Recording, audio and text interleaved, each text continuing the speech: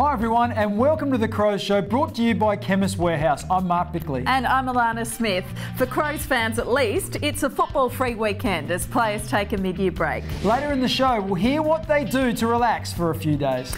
Also today, applying the polish, taking promising players to the next level. So defenders, get at them.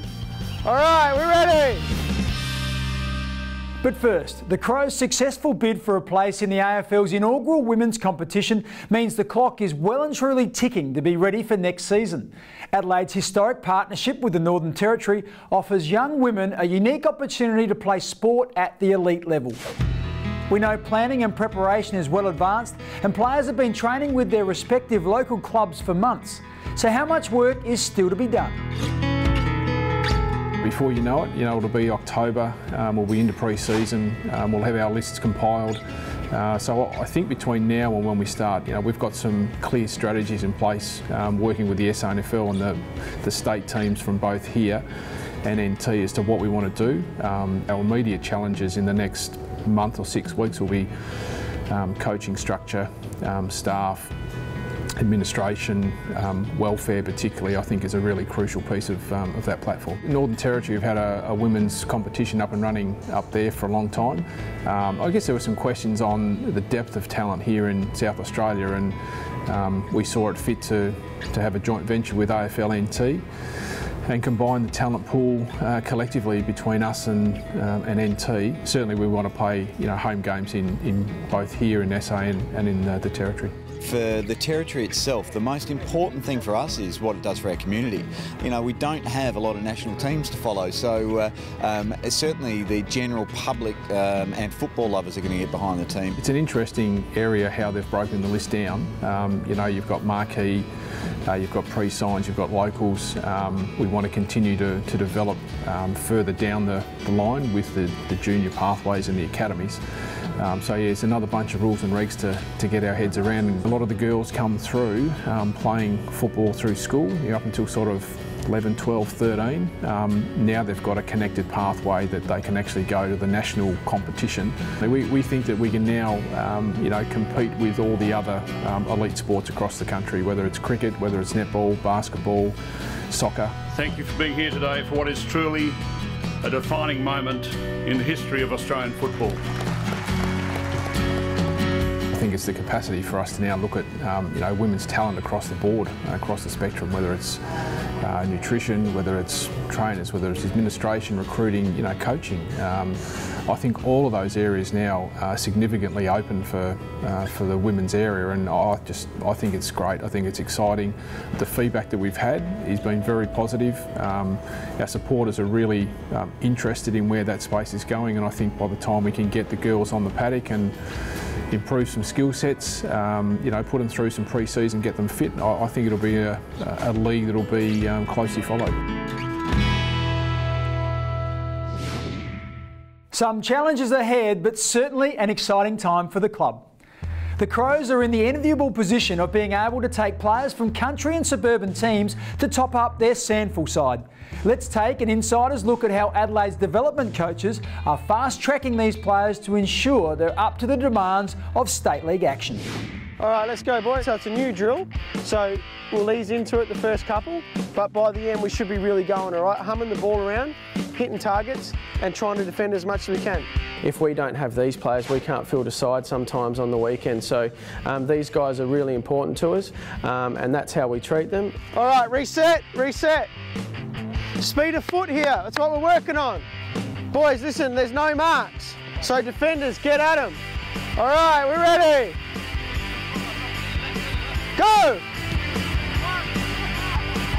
No marks, no marks.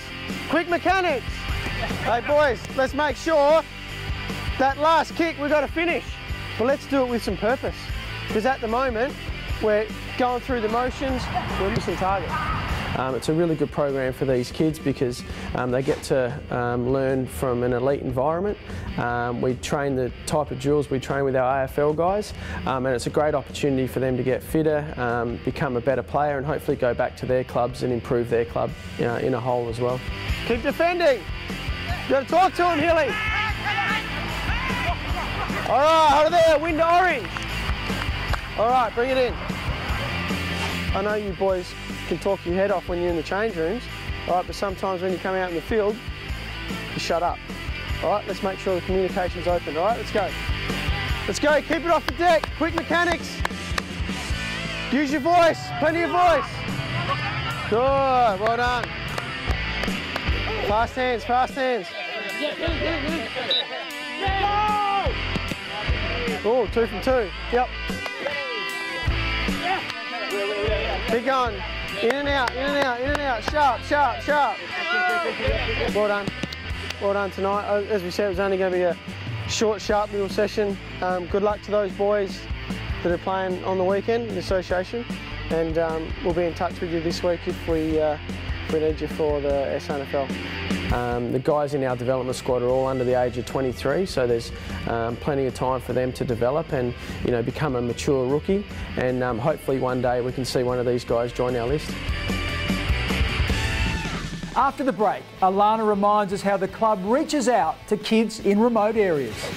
And could you imagine supporting the Adelaide Sharks and not the Crows? We were looking at options like the Sharks because of the uh, close to the, the, the beach. Um, we looked at the Lakers because of West Lakes.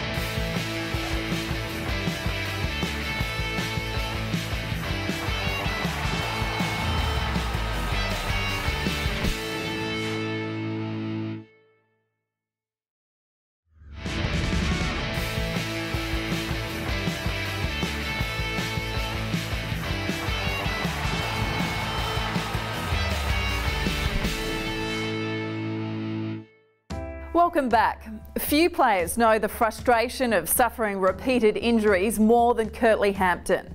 Throughout his career, first with the Giants and now with the Crows, he's been plagued by injury. During a break in his latest spell on the sidelines, Curtly made a Skype call to school kids in his hometown of Alice Springs. The initiative is part of the club's community program, which encourages players to interact with youngsters in regional and remote areas. Hello, my name is Curtly Hampton. I'm from Alice Springs. My family's from there. My mum's Aranda and my dad's Warlpiri. We did a Skype session with uh, Laramba School.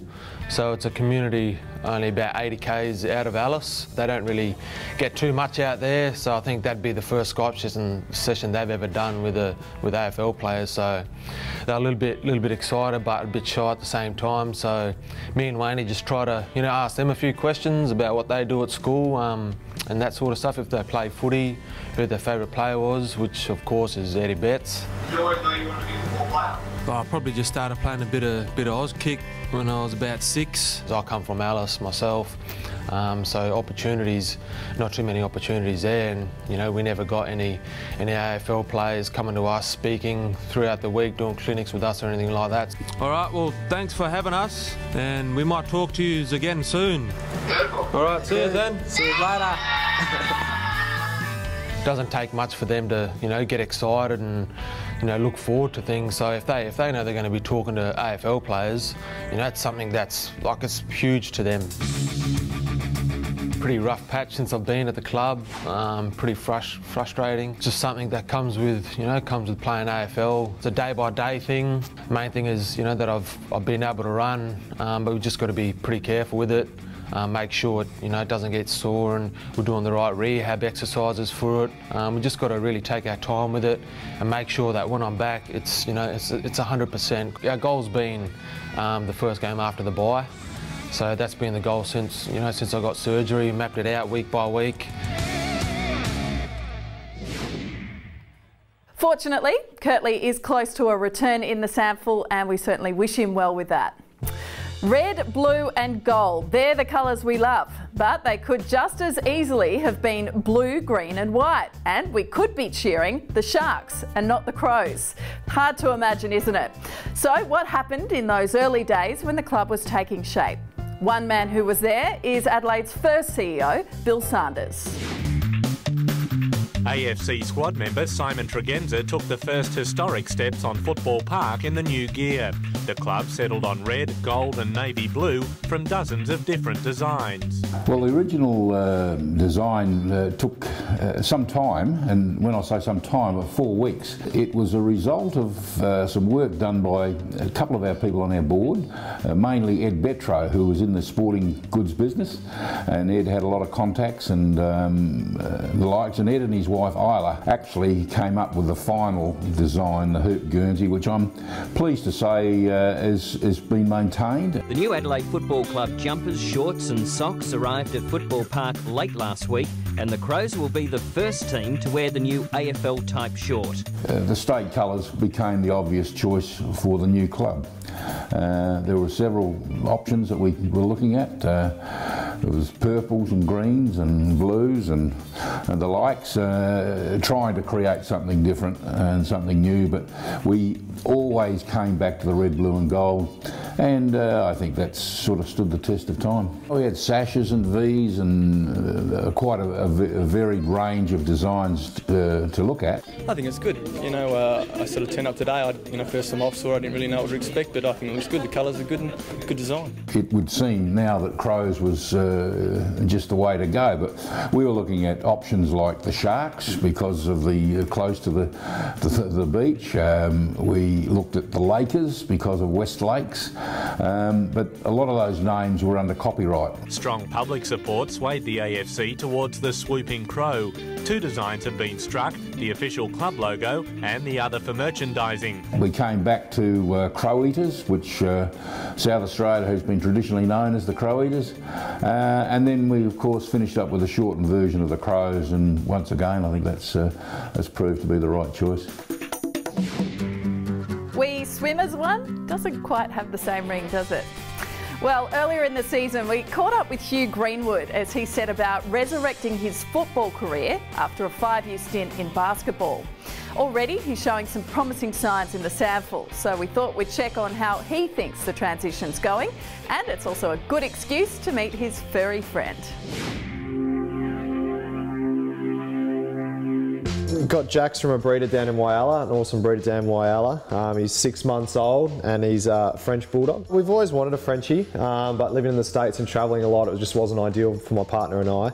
Um, and then since we've moved to Adelaide and we plan on staying here for a while, um, yeah, we just we just wanted something that was going to keep us occupied and, and someone to keep us company. Sit, good boy, Nux. Good boy. He's a bit of a snorer though, so he sleeps on the bed and keeps Kirsten and I up of a night. Here's Greenwood now on the left, the former basketballer. Sneaks it in, quick reply from the Crows. So I think this time last year was, um, I was sort of coming around the corner into making the decision to play footy. Um, so a lot's happened since then. It's taken longer than I thought. A lot has changed and uh, a lot of things are new and a lot of things I've had to adapt to. Um, certainly the running's been probably the biggest one. Um, you don't really have positions as such anymore. You're basically running all over the ground. So um, learning patterns of the game, um, reading different cues of the game has been challenging, but it's been fun from the feedback, I do things well when I have the footy. Now it's just about getting it more, and that's that comes with, with my motor and um, being able to run and, and, and, spread from stoppages if I want to develop into a midfielder. Um, starting in the forward line at the moment, but long term, I think the plan is to play midfield. But that all comes down to how hard I want to work. And the feedback again is my stuff in close is quite good, and I think that's just from the basketball background. Just everything's sort of in tight in a condensed area. So um, I think that's why I think I'll eventually go into the midfield just with just being in tight and, uh, and having a lot of guys coming at you from different angles, but being able to to read the game in that, that aspect. Still to come on The Crow Show, Brodie Smith gives Mitch Grigg a grilling and we'll find out what players do to turn off.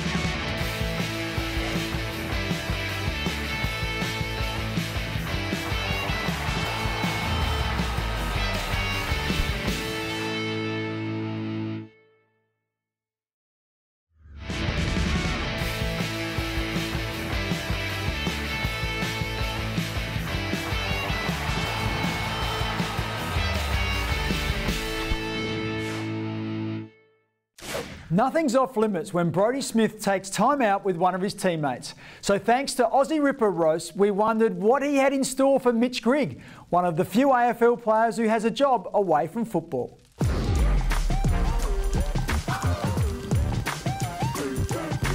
Mitch Grigg, welcome to the Ripper Roast. Thank you. Thanks for having me, Smithy. Don't be nervous, mate. we start with footy. Obviously, you've got uh, the difficult task of trying to break into the AFL midfield this year. Um, how's your footy going down at SANFL level and how, what's the goals going forward for the rest of the year? Yeah, obviously, you know, our side this year is uh, quite tough to break into. A lot of guys that have stepped up and, um, you know, Cedo coming to the club as well, that outside balance, you know, that's sort of the position I'm looking to break into. So, um, you know, each week I'm just continuing to work on my, my D transition and, um, and obviously my keep bringing what I uh, what I bring to the team as well with my kick. All right, so enough of that. We'll go to the off-field stuff. Go easy on you to start with. Uh, your day off, you're doing a bit of work. Yep, so days off, I uh, do my day of landscaping, uh, getting my Cert 3 in landscaping, so uh, that's some, one of my interests out of footy and uh, something I'd like to get in, into after footy, so yeah, loving it. All right, hang on, I did have some notes. Oh, that was all of them. And uh, how was your relationship with Riley Knight? Yeah, it's, it's a yeah, it's a bit of a roller coaster, a bit up and down. He's obviously uh, dating, so not really my stepsister yet, but uh, my dad's partner's daughter. So uh, it's, it gets a bit interesting when we've got family functions and Riley rocks up. Uh, no, he's, he's, he's, a good fella, so um, as long as he doesn't hurt Char, he'll be all right. That's very good. All right, thanks for joining us, Mitch Grigg. All right, thanks for having me, Smithy. No worries. 12 games down, 10 to go before the finals, but for now, players get to enjoy a well earned week's break from the physical rigours and the mental stress of high pressure football. In Under the Coach's Roof, brought to you by Revolution Roofing, we find out what they're up to during the bye. That'll do it.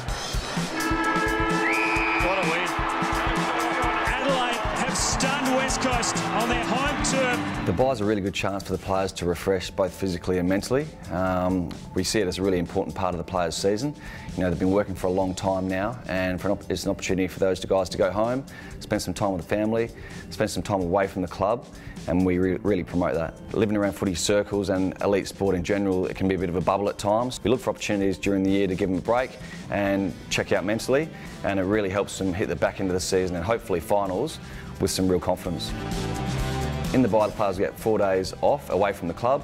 In that time, we'll give them a take-home program. There won't be too much in the program, but it is really important that they keep on ticking their legs over because when they return, they're expected to play with some real intensity. The boys are allowed to travel, um, where we try and promote that, uh, but most of the boys are staying within Australia, going home to see family and just going somewhere a bit warmer north. Not all players will get a rest. Um, some of the players who have had an interrupted season so far need to use this opportunity to play a bit of catch-up.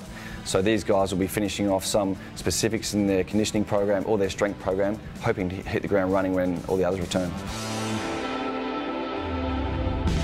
A bye, no such luxury in my day. Stay with us, still to come, pack your bags, we're going on a holiday. And when you're not just another face in the crowd.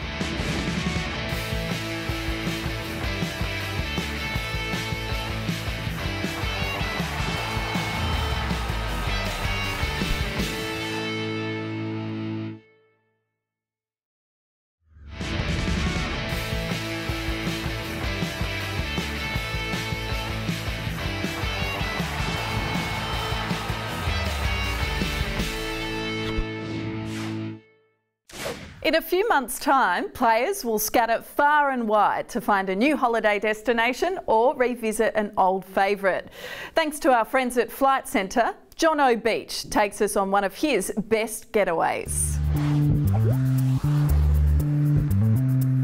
My favourite holiday destination's uh, in Thailand. Went there a couple of years ago with a group of mates and uh, had, a, had a really good time. Nice people over there and uh, really enjoyed it. Uh, went elephant riding, go-karting, uh, we did like water sports, um, yeah, and just a lot of sightseeing around there. Uh, yeah, I'd really like to go to Noosa in Queensland. I reckon that'd be a nice little spot. I've heard good things about it. Just going for a bit of a surf, and it's uh, pretty relaxing up there. Good weather, so I'm looking forward to doing that maybe at the end of this year.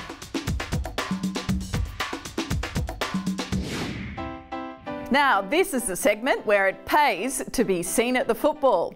If our face in the crowd this week happens to be you, make sure you contact the club before 5pm next Wednesday. Be ready with some photo ID and you'll receive a merchandise pack from Chemist Warehouse.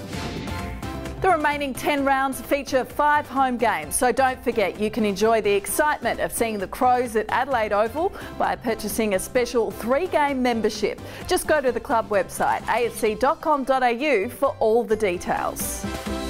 When Wayne Carey was traded from North Melbourne to Adelaide, it was one of the most talked about player movements in the game's history. Next week, former football manager John Reid tells us what went on behind the scenes. Well, that wraps up today's show, brought to you by Chemist Warehouse. Thanks for joining us. We look forward to your company again next Sunday at 11.30 on 7. We'll see you then. Bye for now.